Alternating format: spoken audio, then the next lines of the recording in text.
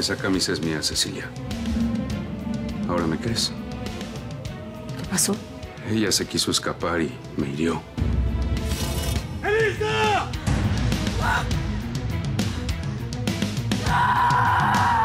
¡Elisa! ¡No te muevas! Voy por ti, tranquila. ¡Me encontraron! ¡Encontraron a Elisa! ¿Qué? ¡Me encontraron! Dígale a mi mamá que me perdone. Dígale a todos, a todos que, que me perdonen. ¿Por qué estaba herida de bala? ¿Quién le disparó? ¿Quién le iba a disparar? La gente que la tenía. ¿Pero qué gente, Cecilia? Si la tenía yo. A ella le dispararon y no fui yo. ¡Elisa, por favor, dígame! ¡Un médico! ¡Médico!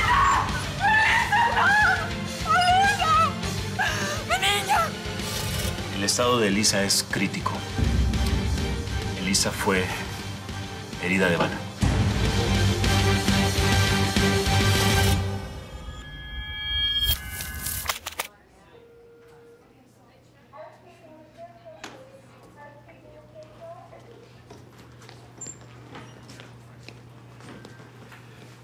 Todavía la están operando. Tiene por lo menos para una hora más en el quirófano. ¿Pero por qué se demoran tanto tiempo? ¿Está muy mal? Tiene fracturas múltiples producto de los golpes y además tiene heridas en la cara y en todo el cuerpo. Pero va a estar bien, ¿verdad? Ya lograron estabilizarla para la operación, Eduardo, pero no saben cómo va a evolucionar. Su estado es muy delicado. Tenía una herida de bala.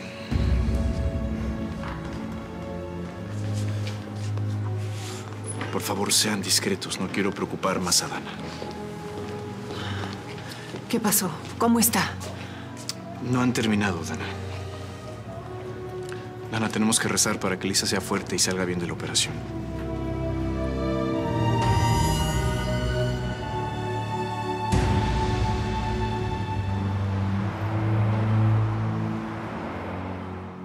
Perdóname que haya venido a traerte esta noticia, compadre, pero pensé que era mucho mejor que te enteraras por mí del estado de salud de Lisa que, que por la prensa o... Le voy a dar con ellos, Nicolás. Te juro que los voy a encontrar. Tarde o temprano van a caer, tranquilo. Stands up. Just a second, please. Yo no me voy a quedar sentado esperando que la policía los atrape. Yo mismo los voy a buscar, Nicolás. Y te juro que así sea lo último que hagan en esta vida. Voy a hacerles pagar por lo que le hicieron a mi hija.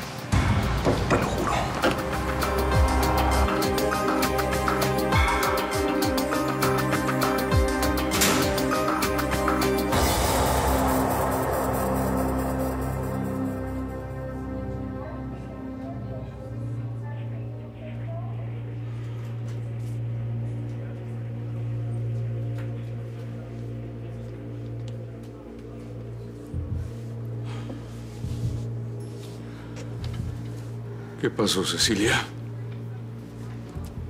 ¿Por qué está Elisa así? Yo no lo entiendo. Bruno, yo creo que lo mejor es que te vayas a la casa y acompañes a los muchachos. Yo me quedo aquí, me encargo de todo. ¿Cómo se escapó de la cabaña? Yo la dejé encerrada ahí. Era imposible que se saliera. Cecilia. Cállate, cállate. Por favor, que alguien te pueda escuchar. ¿Cómo llegó Elisa al lugar donde la encontraron?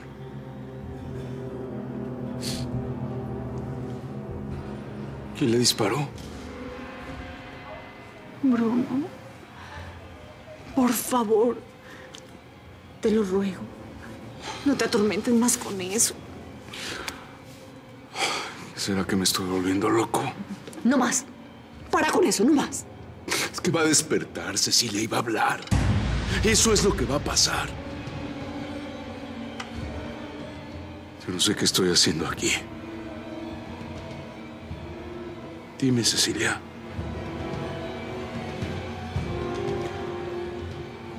¿Por qué estoy aquí esperando a que Lisa despierte?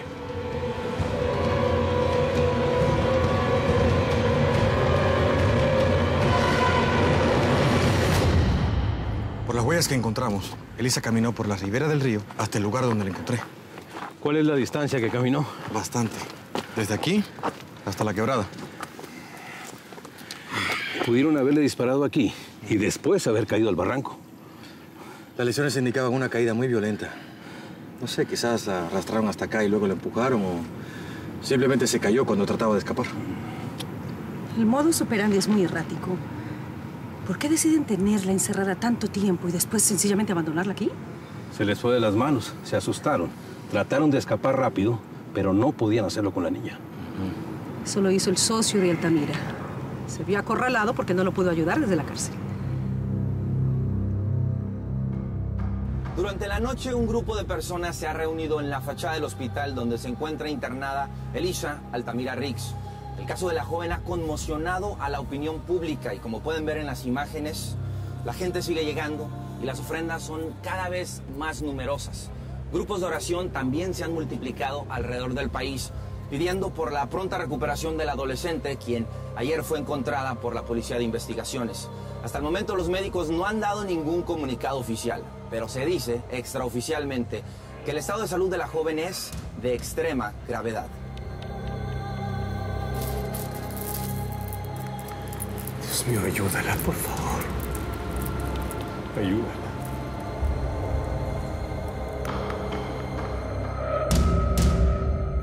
No se puede determinar qué son los restos. Los rociaron con benzina o algún combustible. Está calcinado. Estoy seguro que los peritos pueden encontrar algo. Mejore la actitud, Briseño. Esto es una tumba. Con toda seguridad la hicieron para enterrar a Elisa, pero, pero ¿por qué no la usaron? Porque pudo escapar. La trajeron para matarla y enterrarla con la evidencia. Pero escapó. La herieron. Entonces corrió al barranco y ahí cayó. ¿A qué distancia de este lugar está la cabaña de Faulet? Como a media milla. Así que la trajeron en auto. Necesito que levanten todas las huellas de neumáticos que se encuentren en la zona y las comparen con las que están cerca en el refugio. ¿El comisario está de vuelta en sus funciones? Quiero el resultado de esas huellas esta misma tarde.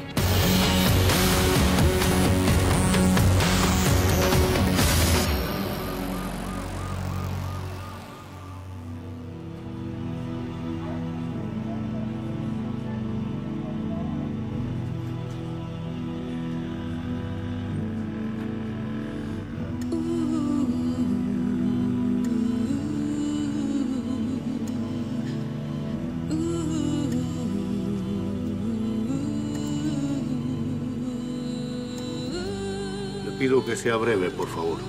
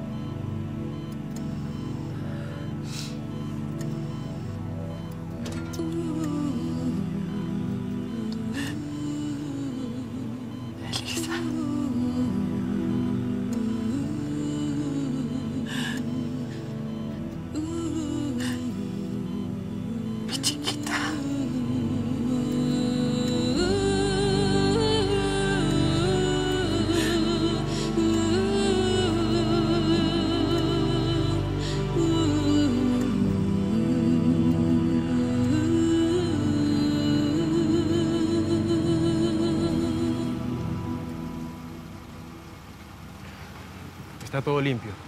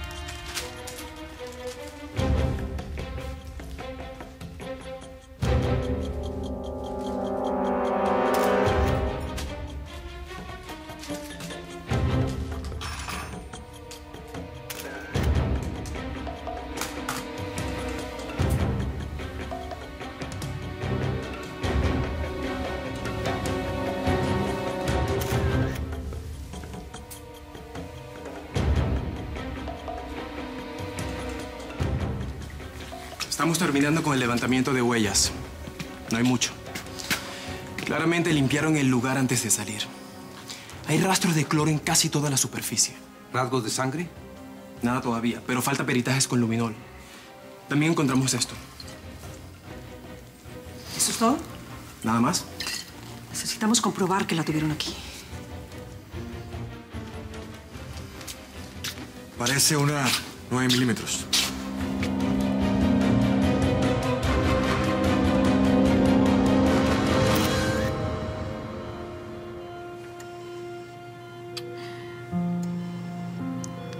Doctor dice que... que no puedes escucharme. Pero ¿sabes qué? Yo creo que se equivoca. Él no te conoce como yo te conozco, mi chiquita. Él no sabe que... eres la niña más fuerte y más valiente del mundo. ¿Te acuerdas? ¿Te acuerdas cuando te escapabas de mis brazos y te ibas a jugar al jardín?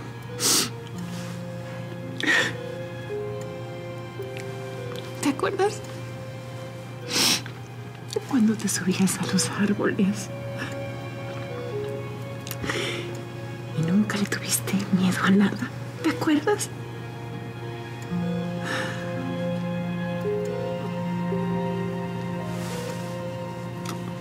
Mi chiquita. No lo puedo creer.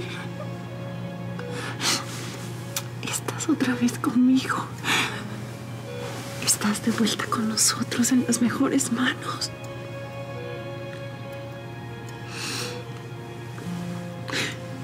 Así que ahora demuéstranos que sigues siendo muy valiente y que tienes la fuerza para salir de esto, mi amor.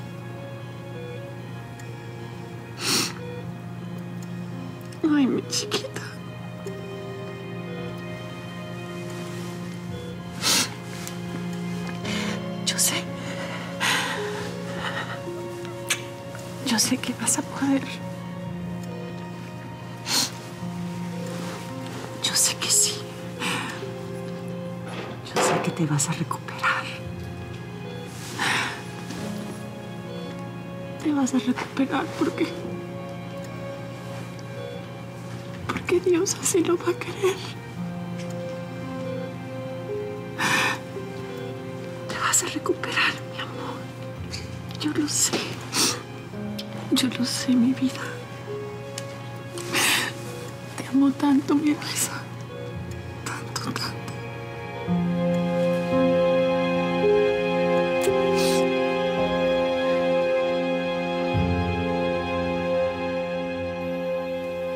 No quiero acostarme, José Ángel. No quiero dormir, no, no, no voy a poder. El médico ya lo dijo, Viviana. Aunque no duermas, es bueno que estés acostada. Trata de relajarte.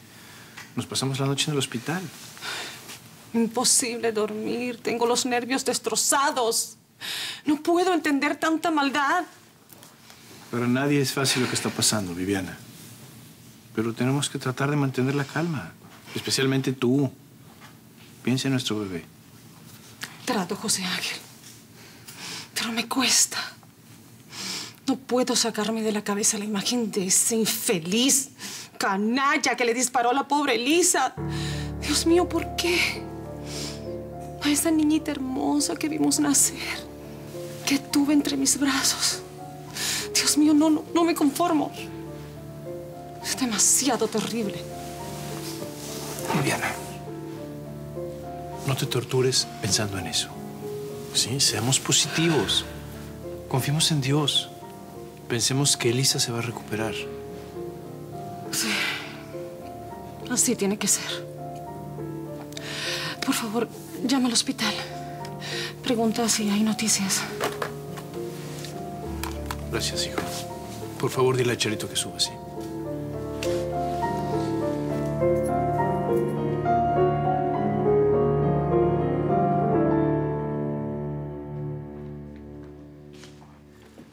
Charo, mi mamá está nerviosa y te necesita arriba. Santiago, lamento mucho lo de, lo de tu primo. Mira, mejor no me toques y vete de mi casa. Que nadie te necesita aquí. Yo solo vine a ver a tu mamá. ¿Qué te pasa, Santiago? ¿A poco también eres sordo? Vete de mi casa. ¿Qué te pasa, mocoso? Tú a mí no me tienes que decir lo que yo tengo que hacer. Mira, mejor desaparécete si no quieres que te muelan a golpes de nuevo.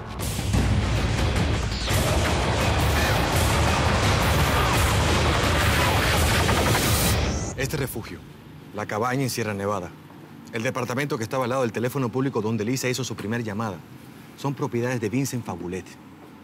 Estoy seguro que la persona, las personas que tenían Elisa, están relacionadas con este hombre de alguna manera. Tal vez podemos comprobar que conocía a Altamira. No creo que Altamira lo conociera. Le recuerdo, comisario, que esta todavía sigue siendo mi investigación.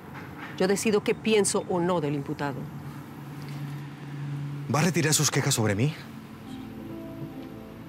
Espero que me reintegre el caso lo más pronto posible. Porque si no, no cuente con mi cooperación en el juicio.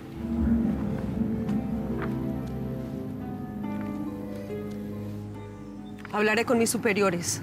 Ya veré lo que puedo hacer. Balística lo confirmó. La bala encontrada en la cabaña y la que estaba en el cuerpo de Lisa fueron disparadas por la misma pistola. La madre autorizó la realización de exámenes Elisa en busca de evidencia, signos de violencia o abuso físico. No podemos saber el lugar exacto, pero estoy seguro que se escapó por esta zona. Y en la persecución le dieron el balazo.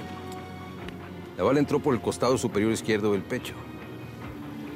Lisa estaba viendo a su atacante cuando le disparó. Elisa presenta múltiples contusiones en todo el cuerpo. No se puede determinar si fueron producto de la caída o si se defendió de su atacante. Si tenemos suerte, ella aún puede tener restos de ADN del secuestrador. Explícame, Santiago. ¿Cómo es eso de que me van a caer a golpes de nuevo? ¿A qué te refieres? Pues a lo que mamá nos contó el otro día. De que te cayeron a golpes al frente de tu edificio por... ma- ¿No es verdad? Ricardo, qué bueno que llegaste. Viviana necesita verte. Ven, ¿sí?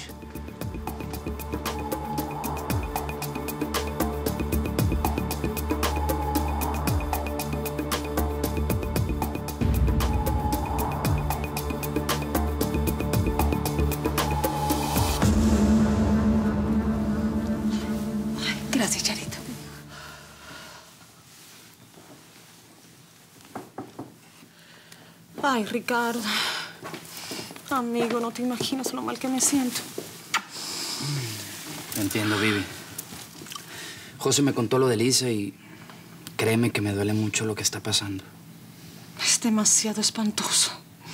Lo peor que ha pasado en nuestra familia después de la muerte de papá. El médico le recomendó reposo, que tratara de no sobreexcitarse, pero bueno, aquí la tienes. Vivi, no te olvides que estás embarazada. Y tu tranquilidad depende de la tranquilidad de tu hijo. Así que tienes que sacar fuerzas. Si al menos pudiera tomar un calmante, pero ni eso. Ricardo, ¿tú quieres algo? ¿Quieres un café? Oye, te pregunté si querías un café. No, no, no te preocupes. Yo me quedo aquí con Viviana. Yo también me voy a quedar contigo, mamá. Gracias, mi cielo. Gracias por acompañarme en un momento tan difícil, amigo.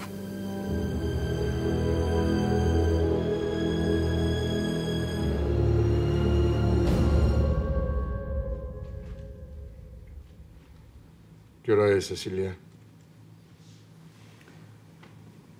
¿Sabes algo? ¿Despertó? No lo sé. ¿Ya te llamaron? Nadie ha llamado. No, no contestes. No, no, no, no pueden ser ellos. Puede ser la policía. Bueno. Hola, Viviana. No, no sé nada. Viviana, Viviana. Si Dana no contesta, por algo será, ¿no crees? Mira, si llego a saber alguna cosa, te aviso, ¿sí? Yo también te quiero, chao, nena.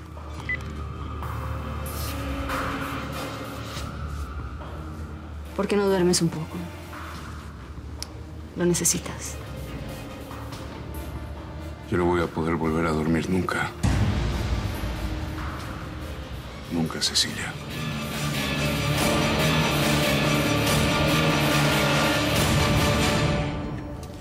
Hay que llevar esta alfombra para que le hagan un peritaje en el laboratorio. Está claro que limpiaron el lugar antes de abandonarlo. Limpiaron todos los objetos. Esto es un trabajo de más de una persona.